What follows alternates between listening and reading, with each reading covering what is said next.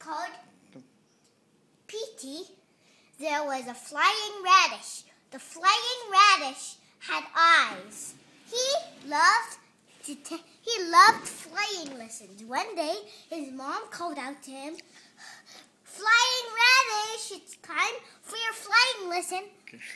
And since she she called very loudly, the flying radish got a little bit scared. He leaned back a little bit, but then he he realized that he, he was going to a flying school. So he he so he called his mom and said, "I can fly there."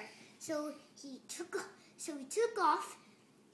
So so so his so his turbine engines went out, and then so he took off. So he took off, and then his mother was so surprised to see a flying radish. So the radish landed in the school, and then the radish, then the ra- radish Keep it meet, still. The camera can't. meet meet his. Then the radish meets his his. Then the radish met met his his teacher.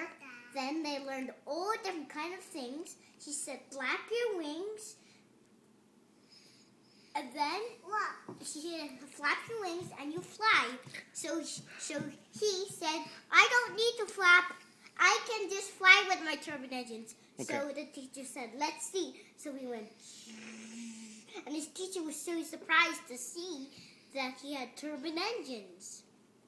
Then, that, that was the story of his day.